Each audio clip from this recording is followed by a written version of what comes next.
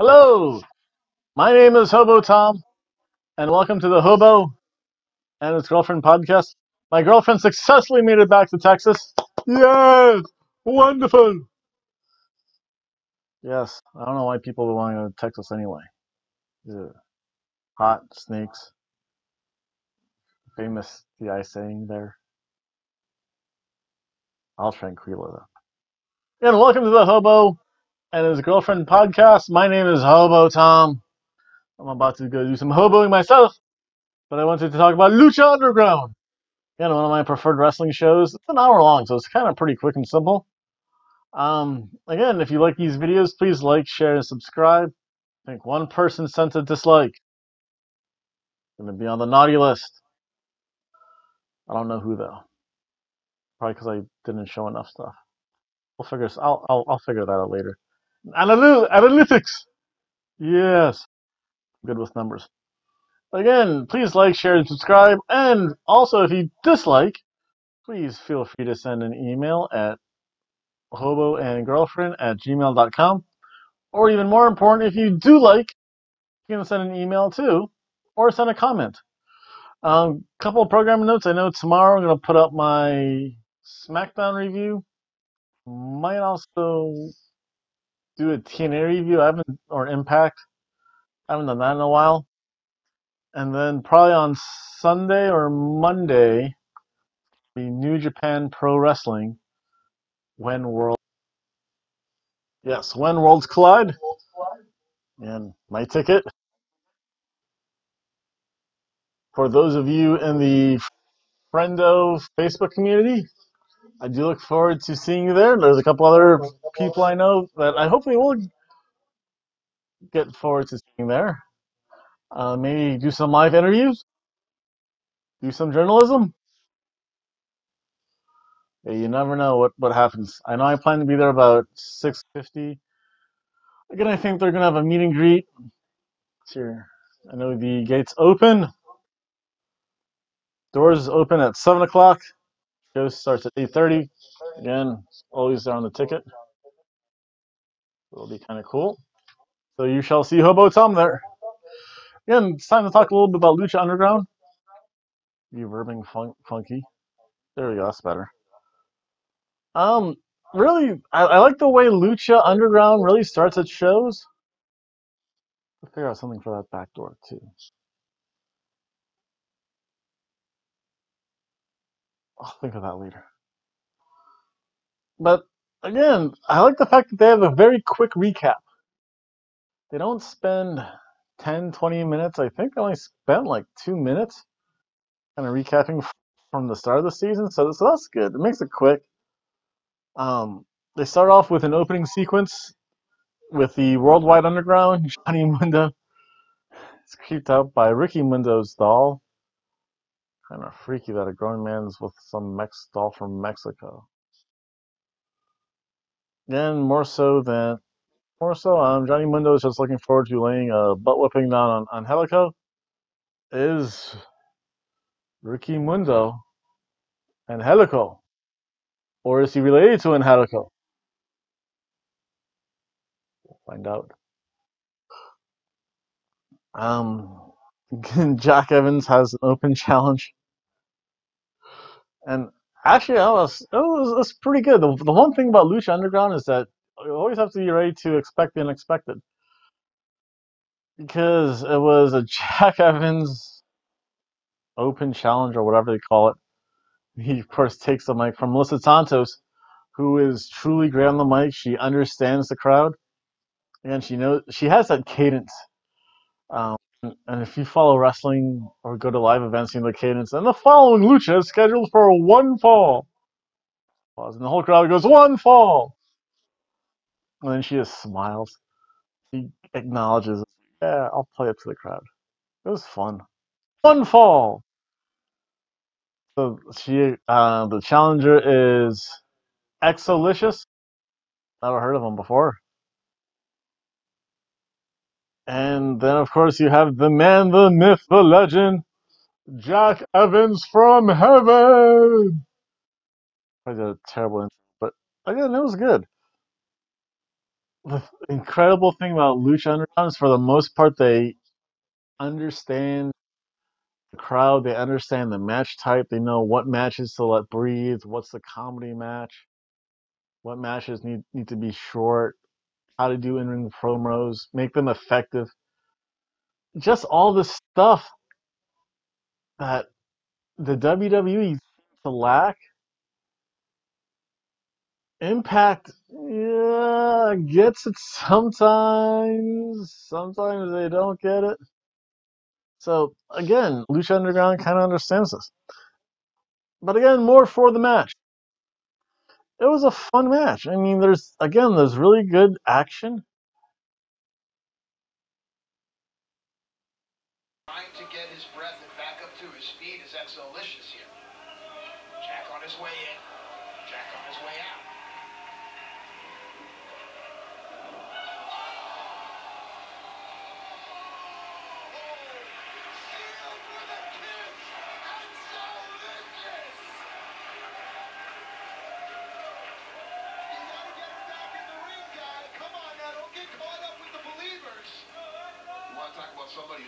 Jack Evans in advance, I think. Here we go. I, I, I, I think this, this young man should go for a cover here.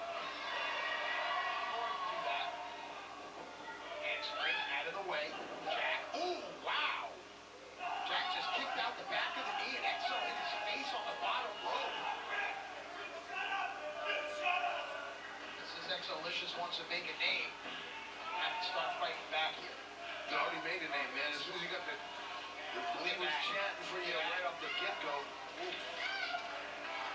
Submission hold here. Rick Knox right in position there. Jack keeping control of the arm and twisting right out. Now it looks like the focus is going to be on XO Lishus, perhaps his right arm and shoulder.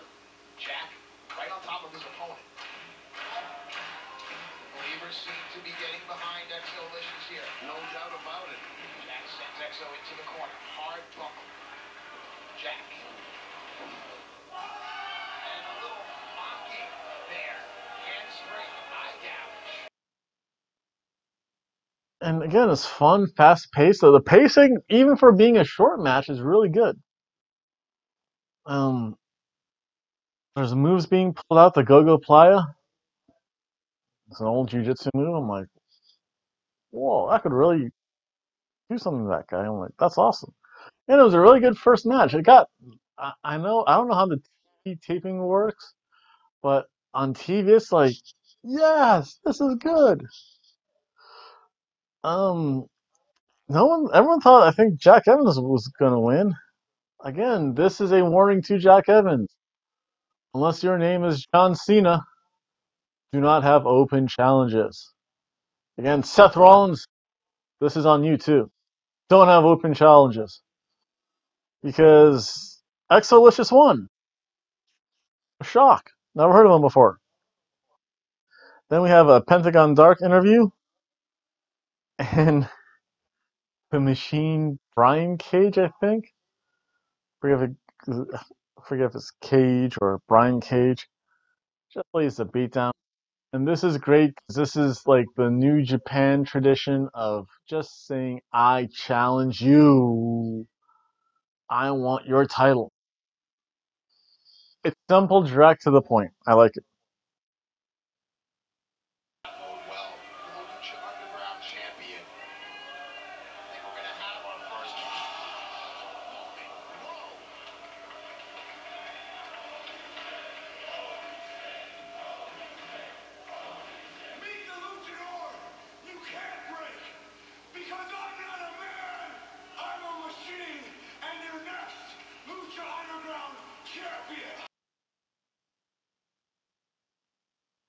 Again, simple, direct to the point. It's effective. And of course, it does end with Strong showing why he should be the champion. Then we had the main event of the evening. And this probably lasted probably a good 30, 35 minutes, almost 40 minutes. You always have to figure there's always some wonky time with the ring entrances. And they always do a little tease at the end. But again, it's only a couple of minutes, so it's not bad. Um, this actually featured a, a three way, three way, three way to the grave match, which is just really like your WWE casket match, except for when there are dos caskets. Lucha Underground, I said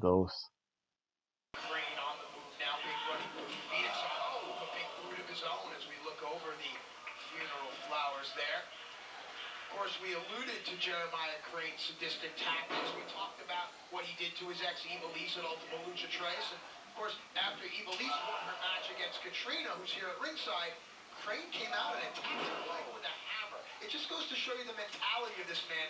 So like your point, you said, he was almost eager to get into this type of match. Now, of course, we'd be remiss if we did not talk about the significance of the number three. It, it, it represents the Trinity, divine protection. It also represents the triad, you know, beginning, middle, end, perhaps life, death, and rebirth. Oh! As Phoenix sets himself, moonsault off the top, and Phoenix landed hard.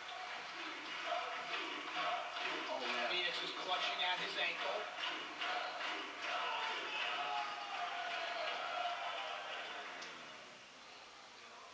Mil Muertes, uncharted territory, but why not? Bill knows what it takes to be successful in this type of match. Remember the only way Um, this was Mil Muertes, the man of a thousand deaths, versus Jeremiah Crane versus Phoenix. Again, this was a really fun match. They let it breathe. It was good pacing. Everyone got their spots. That was crazy, crazy spots. Jeremiah Crane, I think, actually he did pile drive Phoenix onto the concrete into the in the stands areas. Phoenix was flying from like some top of closet thing. Mil Muertes and Jeremiah Crane from a good distance. It's almost like a scaffolds match.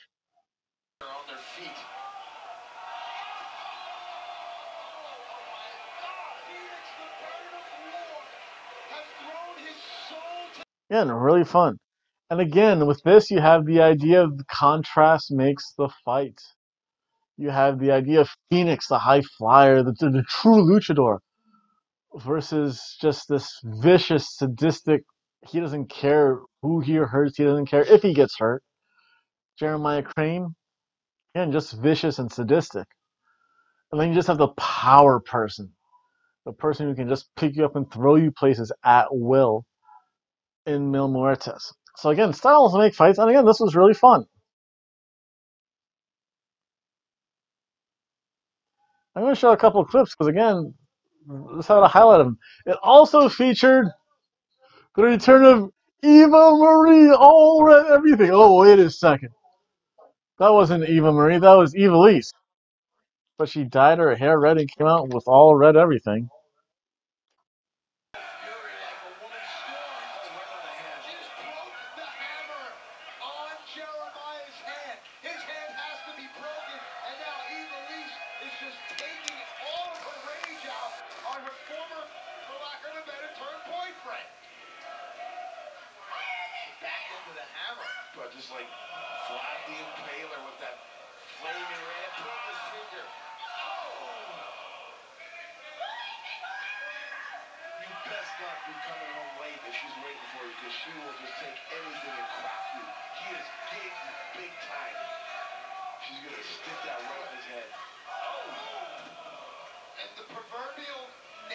In the coffin. What did she say? Did you hear that? I couldn't hear. I did. She's a Sicaria. That doesn't mean anybody. There's one right there. Jeremiah Crane has been officially eliminated. A spurned lover leads to Jeremiah Crane's downfall, and now we're left with just two literal life and death at stake.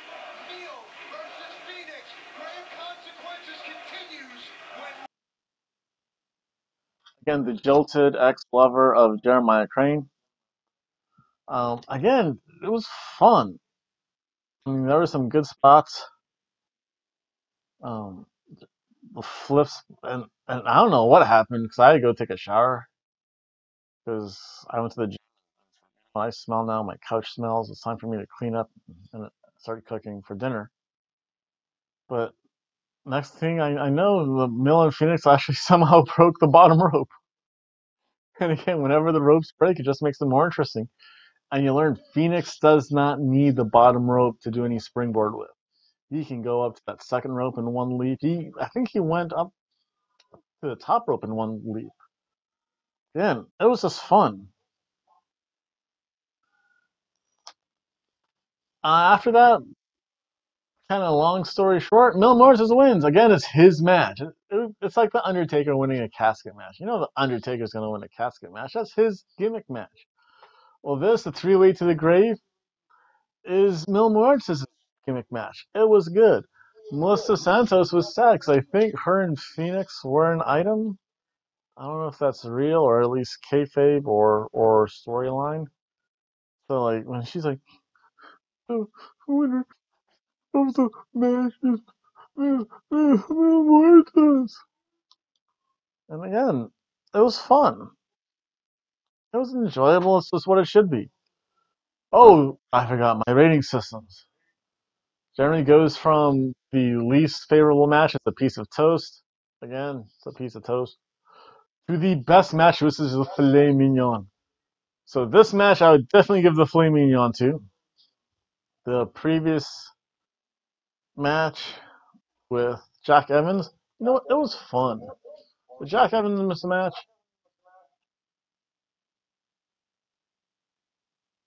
Props in a hobo production is a cheeseburger. Okay. Um. Go away, cheeseburger. Yeah, that's that's that's, that's enough. I, I do enjoy my props. And yeah, I'll probably have some more things coming out. Again, that was that was really it. That was all the matches. It was only two mat two matches, one good promo, one backstage, and then it always it was only like two minutes, and it sets up the next episode, in which oh, I forget his name. Not Dario Cueto. His father unleashes the monster Matanza. So we'll see what happens next episode. Um, hopefully I'm not working next next Wednesday, or working, maybe. I don't know. Also be hoboing. You might see me around town because again I am going to the New Japan show. I look forward to seeing all of those in the Friendo universe there. I think a couple days ago they did ask who was going to the New Japan Daytona. I said Hobo Tom will be there. There will be others there. So get to create more videos and give you guys more free content. Again, please like and subscribe. Also feel free to leave a comment or email at hoboandgirlfriend at gmail.com. And I look forward to seeing friendos at the New Japan show. Yes. When worlds collide. Everyone have a good night. And tomorrow will be the SmackDown show. Bye.